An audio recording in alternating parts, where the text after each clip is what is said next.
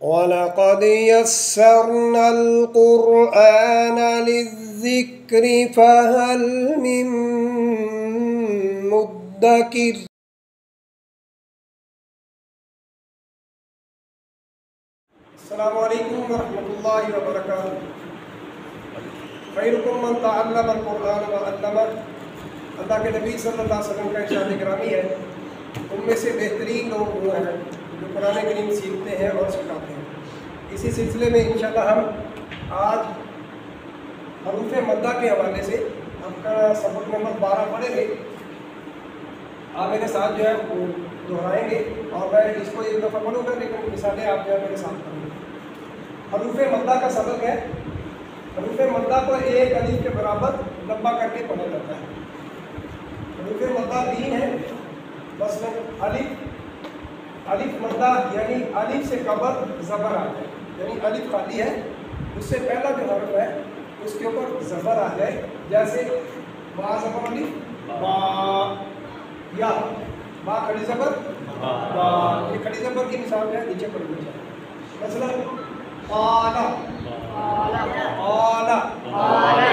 आप देखते हैं कि ये अलिफ अली है पा का उससे पहला हर्फ काफ है और उसके ऊपर गबर आता है तो इसको खींच के पढ़ेंगे दो हरकत के बराबर लंबा करेंगे इसको हम पढ़ेंगे आला आला क्योंकि यहाँ पे आगे लिखी इसलिए इसको लंबा नहीं करेंगे। आला लिखो आला आला इसी तरह नारन नारन नून के साथ जब अलिफ लगा हुआ है तो नून के ऊपर जबर आ गई अलिफ खाली है इसलिए यहाँ अ, जो है वो रूह मद्दा अलिफ लग रहा है।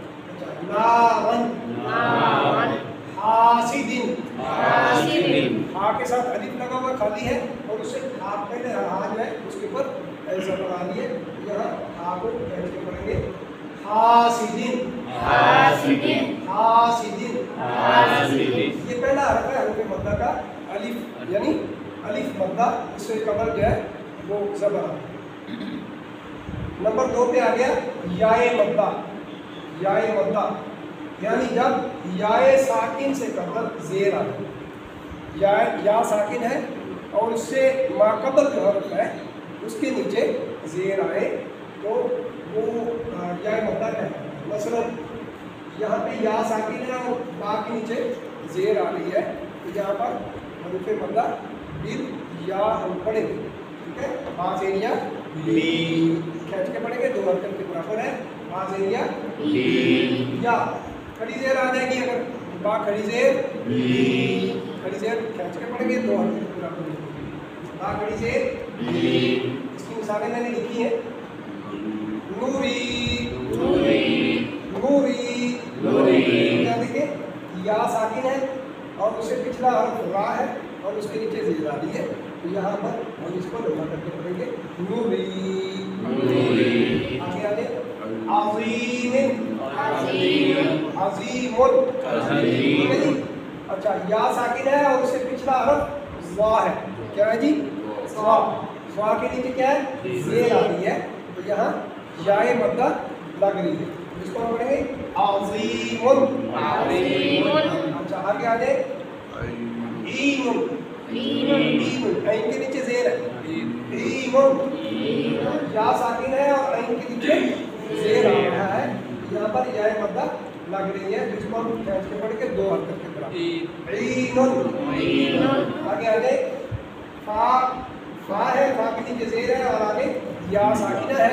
यहाँ पर पाँच एरिया फ़ी। फ़ी। दो हरकत के बराबर खींच कर। फ़ी। फ़ी। मेरा। मजीदुन। मजीदुन। मजीदुन। मजीदुन।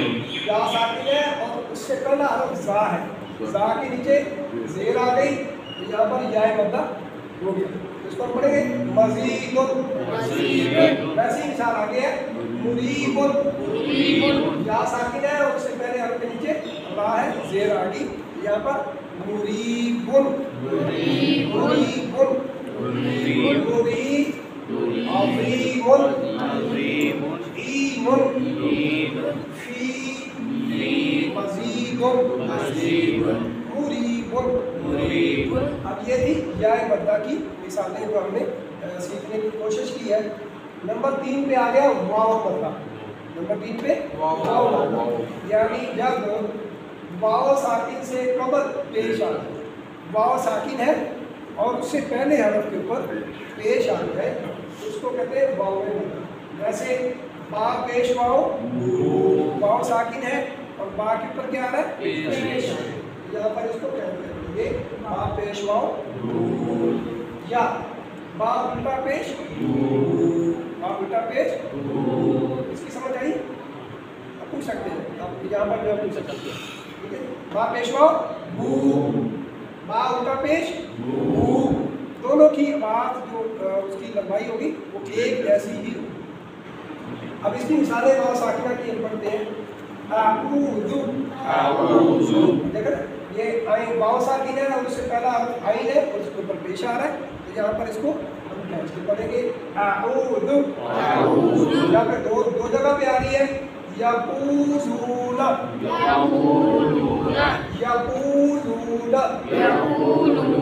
वाव से पहले काफ उसके ऊपर पेश आ गई। वाव साकिन से पहले लाम उसके ऊपर पेश आ गई। दोनों को एक जैसा खींच कर पढ़ेंगे यकूलूना यक़ूलूना इसको याकूलूना नहीं पढ़ेंगे यकूलूना काफ पेशवा कू लाम पेशवा दोनों को एक जैसा ही खींच कर आगे जाओ। तसूमू। तसूमू। वाव साकिन से पहले साफ़ के ऊपर पेश है। इसलिए यहाँ पर वाव साकिन से पहले साफ़ के ऊपर पेश आने की वजह से वावे मद्दा बन गया। अच्छा नीम नीम के बाद वाव आ रहा है। नीम के ऊपर पेश है। यहाँ पर वावे मद्दा लग गया क्योंकि पिछले हरफ के ऊपर पेश आ रही है। उसका पढ़ेंगे तसूमू तसूमू आगे आगे सबारू सबारू रा रा के ऊपर पेश आ रहा है आगे वाव है। यहाँ पर वावे हो गया। तो यहाँ पर हम पढ़ेंगे वाव से पहले पर पेश आ फिर आगे आते हैं दो मिसालें इसमें भी। वाव साकिन से पहले पेश और फिर वाव साकिन से पहले पेश। ता के ऊपर पेश है ऊपर पेश है। तापेशवा तू क्या करना जी? तू तू बू यानी दोनों की एक जैसी आवाज़ होगी। तू बू आगे चलो। अब ये एक पूरा लफ्ज है।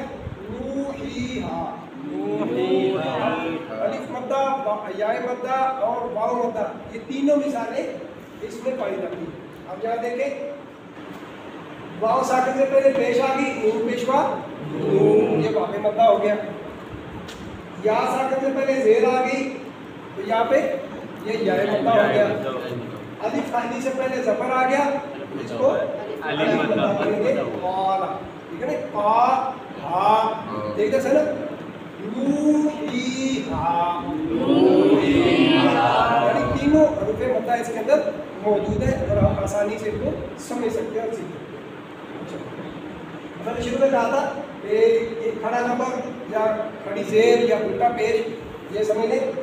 खड़ा जबर अलिफ मद्दा खड़ी जेर जाय मद्दा और उल्टा पेश वाव मद्दा के कायम मुकाम वाव मद्दा के कायम मुकाम। जैसे मैं एक मिसाल से आपको समझाता हूँ।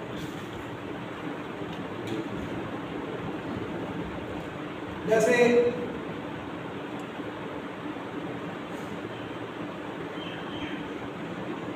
क्या है जी? वाव वाव पेश ठीक है जी? वाव वाव पेश ये वावे मद्दा है। अब हमने सीखना है कि वो उल्टा पेश है वो अगर आगे वाव के ऊपर। इसको हम क्या पढ़ेंगे? ठीक है जी? क्या पढ़ेंगे? शाबाश। अच्छा इसी तरह ये बा के नीचे जेर है। आप समझे इसको। बाज एरिया। क्या है जी? बाज एरिया। अब हम अगर याद आ लगाए या सिर्फ़ बा के नीचे खड़ी जेर लगा दो। ये क्या है? बा खड़ी जेर ठीक है जी। इसी तरह आगे आ जाए। बा के ऊपर जबर आ जाए, ऐसे। बा जबर अलिफ बा